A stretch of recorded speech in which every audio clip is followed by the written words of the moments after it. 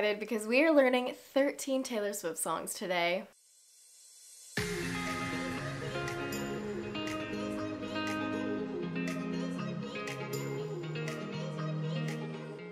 Hey guys, welcome back to the channel. It's Nena. Today I am back with another combo video where I'm going to be teaching you 13 Taylor Swift songs. If you're new here, nice to meet you. So happy that you're here. And if you're not new, thanks for coming back. Now this video is going to be a part 4. I've already uploaded 3 other videos where I try to teach as many Taylor Swift songs as I can in like 20 minutes. Those links will be in the description box down below. Go check those out if you want to learn more Taylor Swift songs songs. Every single day I get a ton of requests for all kinds of different Taylor Swift songs from all the albums and so these videos are just a way to try to teach as many as I can because it's nearly impossible for me to do a tutorial on every single Taylor Swift song ever. The great thing about Taylor Swift songs is that she follows the same four chords for so many of her songs and these songs are going to be from all of her albums, even Fearless Taylor's version, so get excited. We are going to learn 13 Taylor Swift songs today.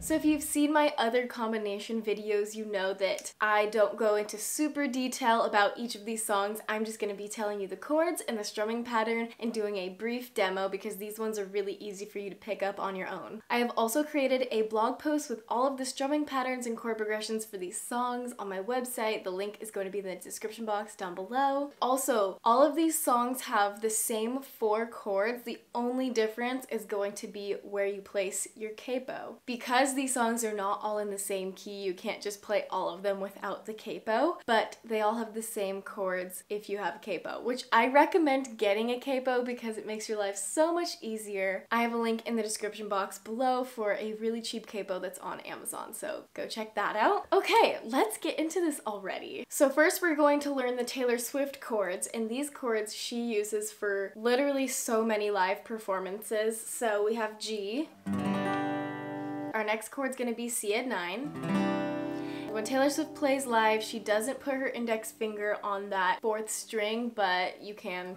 if you want to. She just doesn't. Next chord is going to be E minor 7, and this is the way Taylor Swift plays it, like that. And then we have D over F sharp, or you could just play normal D if you don't want to do this, but what she does is she puts her thumb on the 6th string 2nd fret while she's playing D.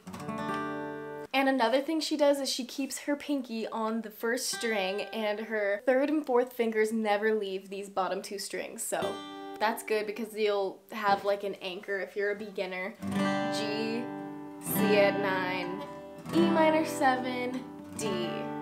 Now for each of these songs, it doesn't necessarily mean that they will all be in that order. They are just going to all have those chords. So yeah, first we're gonna start off with the debut album and this is a song I haven't taught yet. We're learning Should Have Said No first and if you guys want any full-length tutorials for any of these songs, let me know in the comments down below. Some of these I do have full tutorials for, but most of them I do not. So this song is gonna have no capo and the chord progression for the verses is going to be G, D, E minor, C, 9, and then the chorus is going to be E minor, C add 9, G, D. So the basic strumming pattern for this song is going to be down, down, and then you're going to switch to the next chord, up, up, down, up, down, up, and then do the same thing with the last two chords, E minor, down, down, switch to C add 9, up, up, down, up, down, up that's gonna be your verse. Feel free to add some palm muting if you know how to do that, but otherwise you can just open strum. So we're gonna do it a little bit faster. So we got G.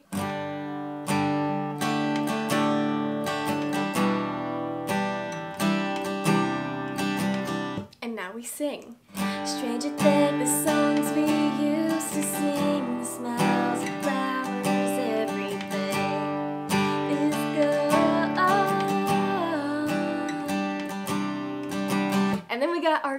which is to be the same strumming pattern. Should have said no, should have gone home,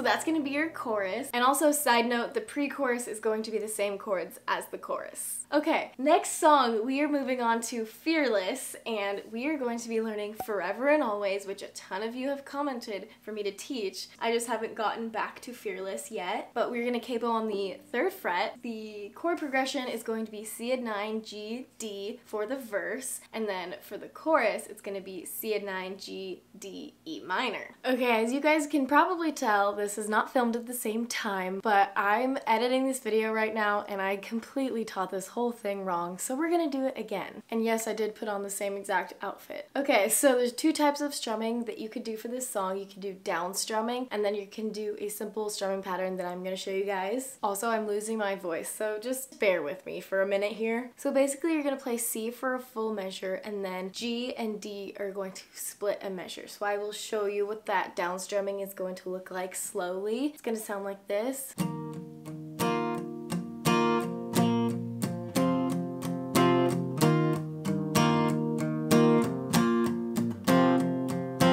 So you're gonna stay on the C for four beats and then the G and the D you're gonna get two beats. So we've got one, two, three, four,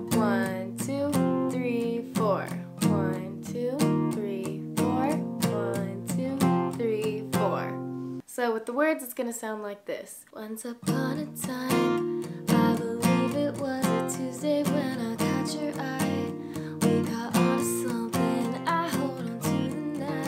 And then on the part where it says, you looked me in the eye and told me you loved me, you're gonna skip G. You're gonna play C add 9. You looked me in the eye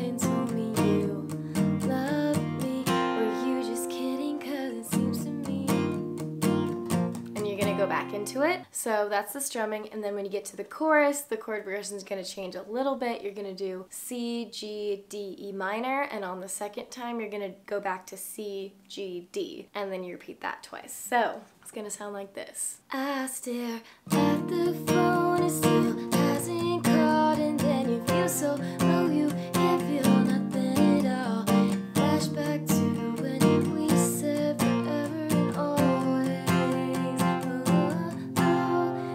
second part of the chorus, you just repeat that again. And that's the down strumming. Now I'm gonna teach you guys a basic strumming pattern that's, you know, helpful for beginners because it's a little slower. We've got C add 9, you're gonna do down, down, up, up, down, up.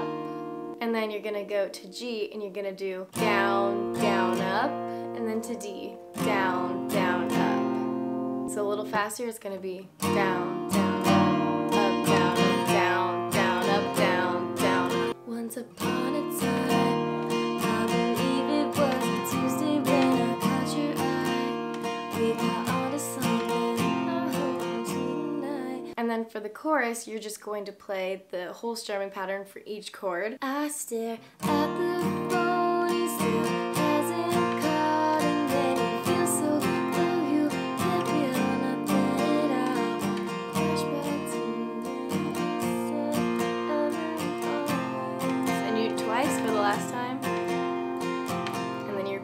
again. So that is how you play the song. I just had to refilm it because it was really bugging me that I didn't teach it completely right the first time. But yeah, now let's get back to the video. Moving on to Speak Now, we are learning Last Kiss, which a lot of you also want to learn. This song is also going to be capoed on the third fret. The chord progression is going to be G, E minor 7, C add 9, D for the verses, and the chorus is going to be a C add 9, E minor, C add 9, D. Pretty simple. You can either do strumming or you can do picking.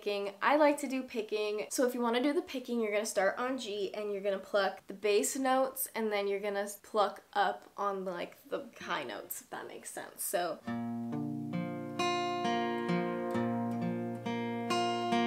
you're just working your way down and then back up. So six, five, four, two, three, four. And you're going to do that for every chord based on the bass string of it. So so you're going to do that picking pattern four times per chord. It's a very like slow song. So when you get to E minor 7, you're going to start on the 5th string instead of the 6th string and you're just going to do that. And then you do the same thing for C add 9 and then when you get to D, if you're doing the thumb, you can do the 6th string. If you don't want to do that, you could just pluck the fourth string.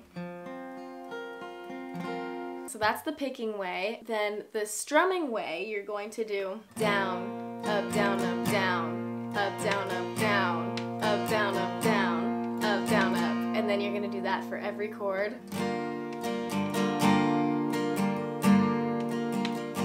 I'll just sing the first part of this verse here. Um,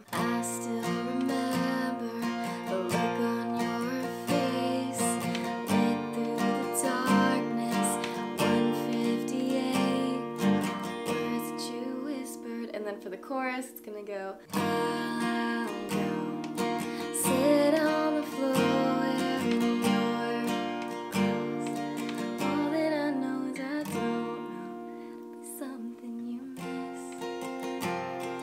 Oh, I think that's the pre-chorus. And then for the chorus, it goes back into the verse chords. Yeah, that's what it is. Just ignore me. So that's the basics of Last Kiss. And then we are gonna do a song that's not from an album. It's actually from a movie. We are learning Eyes Open from the Hunger Games soundtrack. You're gonna capo on one. Chord progression is going to be G, D, E minor, C. And then like the bridge is going to be E minor, C, 9, G, D. Strumming is going to be down, up, up, down, up, up, down, up, down, up. Up,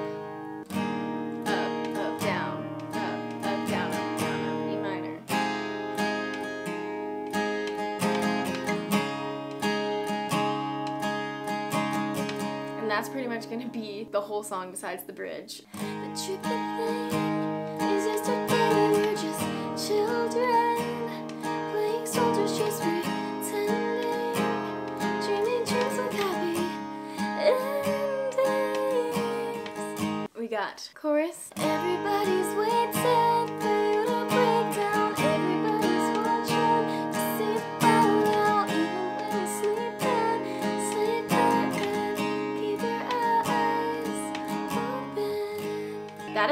underrated song, I must say. Moving on to the next song, which is going to be on Red, which Red Taylor's version's coming out this year, so that's very exciting. Um, we're going to be learning Stay, Stay, Stay. This song is super cute. Chords are going to be G, C, 9, E minor, D, and the strumming is going to be down, down, up, down, up. And then you switch down, down,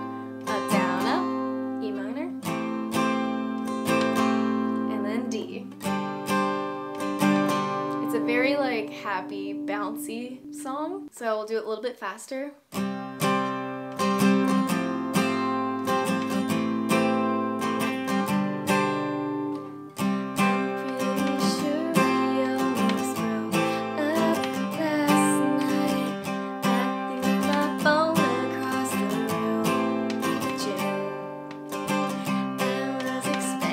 So you can go as fast or as slow as you want. It's a little bit fast.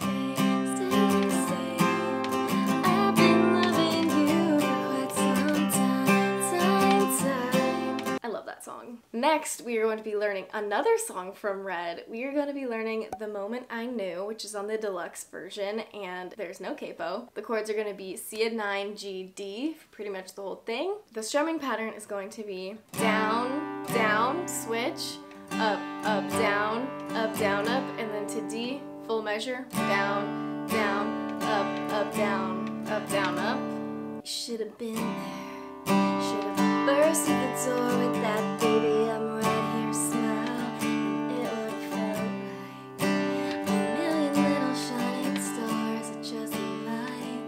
That song is so sad. Oh my god, so sad. It's like slow motion.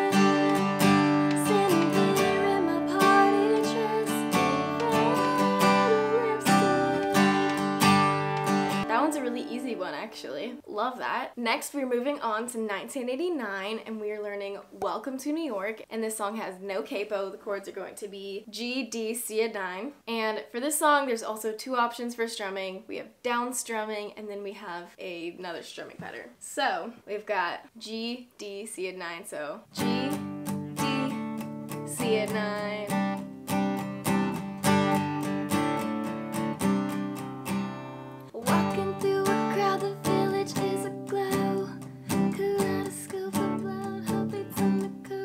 if you don't want to do that strumming pattern, I have another one for you because down strumming can be tiring. So a basic strumming pattern you can do is down, down, switch to D, up, up, down, up, and then to C add 9. Down,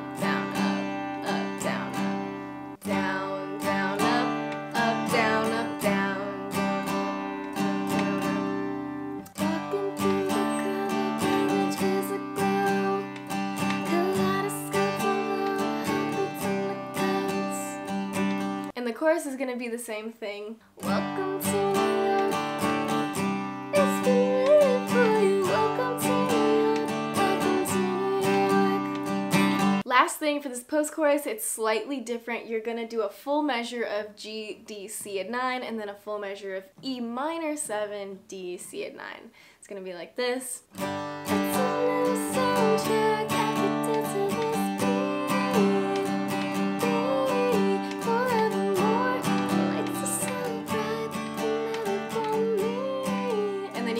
To the other part. But yeah, that's gonna be Welcome to New York for you. Next, we are learning Bad Blood. Capo is gonna go on the first fret. Your chords are going to be C add 9, G, D, E minor 7 for the whole song, which I love. Strumming pattern is gonna be down, down, switch, up, up, down, up, down, up, and then to D, down, down, switch, up, up, down, up, down, up and that's pretty much to be your whole song.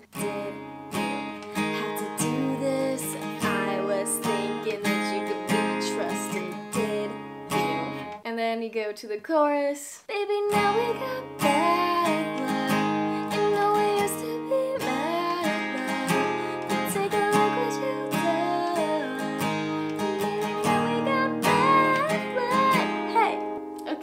moving on. I'm trying to go as fast as I can without leaving out important details. Okay, we got Reputation, and we are learning Call It What You Want, which I have taught a different version on my channel if you want to go check that out. That is like the live version that she performed acoustically, but this is going to be like the studio version. Capo on the second fret, chords are going to be C add 9, G, D, E minor 7, just like the last song. It has this little thing at the end of the chord progression where it's going to split the measure between E minor 7 and D. I will show you. We've got C add 9, you're gonna go down, up, up, down, up, up, down, up, down, up, and then switch to G.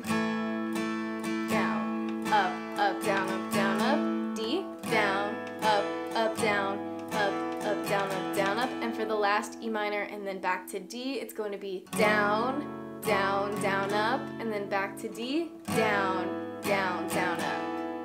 And that's pretty much gonna be your entire song. We love consistency. So we got C add 9.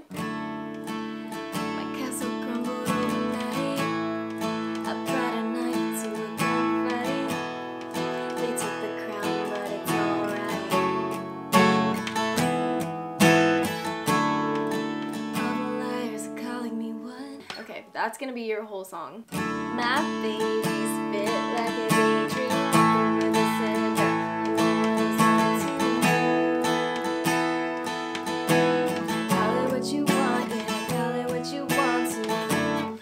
Okay, now we're learning a song that is also not on an album. We are learning This Is What You Came For, which everybody knows the tea about this song. Taylor Swift wrote it and gave it to Calvin Harris. He was all mad when she told everybody that she wrote it. But anyways, she performed this once on piano and I think maybe on guitar. I'm not sure if she performed this on guitar. But no capo for this song. It's gonna be E minor, C9, G, D, and the strumming is going to be down, down, up, up, down, up, switch, down, down, up, up, down, up.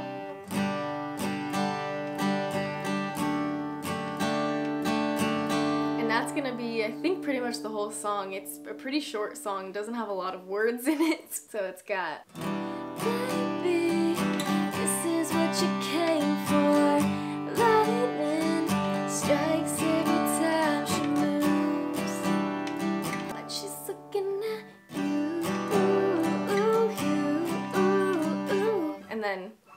so that's that one. It's pretty easy. Now, the next song. Oh shoot. Did I skipped Lover. How could I skip Lover? Okay, I totally forgot about Lover, but I just pulled up a song we're gonna learn right now. We're gonna learn I Think He Knows, which I have not taught on my channel. It's super easy. You're gonna have G and E minor for the verse and pre-chorus, and then for the chorus, we're gonna have C, D, G, E minor. The strumming pattern I'm gonna go with is down, up, down, up, down, up, down, up, down, down, up. You're gonna do that for two full measures for each chord. So we got G. And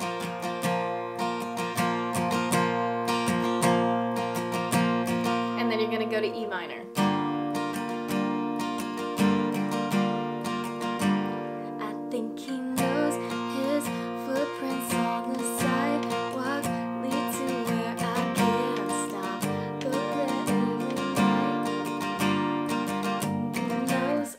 So the chorus we got down, down, switch, up, up, down, up, down, up, and then we got G, down, down, switch, up, up, down,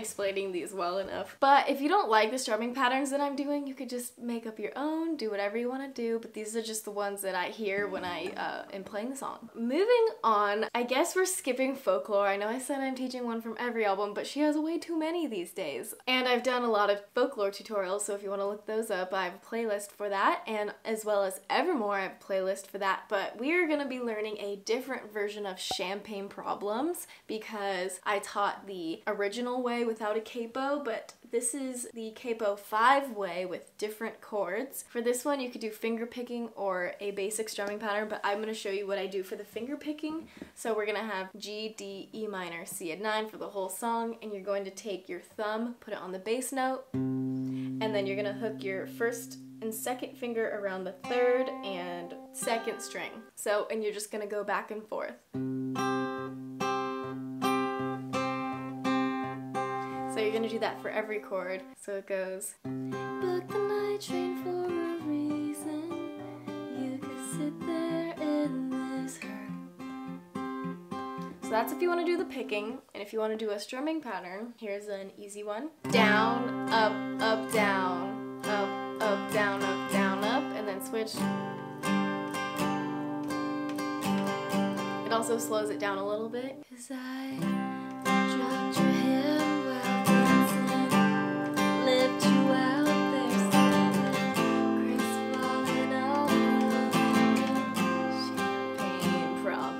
all know I can't sing low, but there you go. Um, okay, we are gonna round this out with the last song from Fearless Taylor's version, Mr. Perfectly Fine. Again, I have already taught the original version on my channel if you want to check that out, but this is gonna be Capo 5 version, which is a little bit higher. Different chords if you like these chords better, which sometimes I just like to change the capo so I could play different chords. Same key though. So we got G, D, E minor, C add 9. The strumming that I'm gonna do for this song, you could either do down strumming or you can do this. Down, down, up, up, down, up, up, down, up, up, down, up.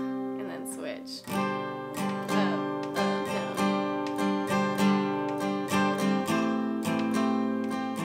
And then you just keep doing that for the whole song. Um, so it goes, Mr. Perfect Face.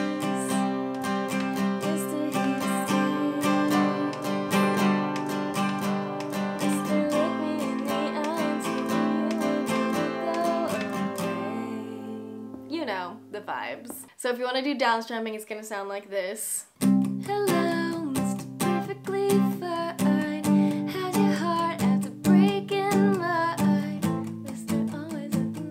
So you can do that, but if you don't like that, just do the strumming. But yeah, I think we made it to 13 songs. I hope I counted that correctly, because last time I did not. If you like this video, please give it a thumbs up. If you want me to expand and do a full tutorial on any of these songs, comment down below, and I will try to do that for you guys. Don't forget to subscribe, because I post new videos every Tuesday and Friday, and I will see you guys in the next video.